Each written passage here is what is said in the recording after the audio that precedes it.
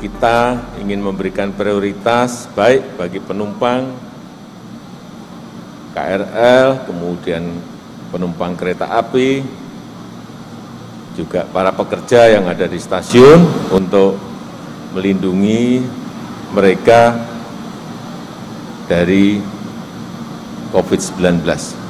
Kita ingin ada percepatan-percepatan di tempat-tempat yang interaksinya tinggi, yang mobilitasnya tinggi, baik itu stasiun, kereta, terminal bus, airport, dan juga pelabuhan, karena di situlah kalau tidak kita eh, segerakan akan eh, terjadi penyebaran. Dan kita harapkan pagi hari ini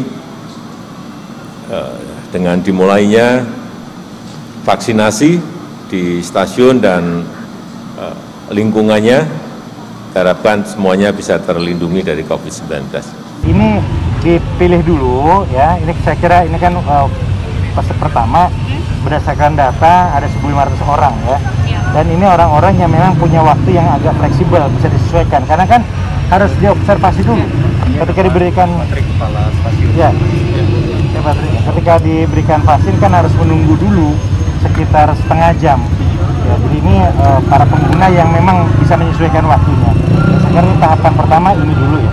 Seterusnya kira nanti dikoordinasikan lagi antara Pak Menteri Kesehatan dengan pihak PT KAI.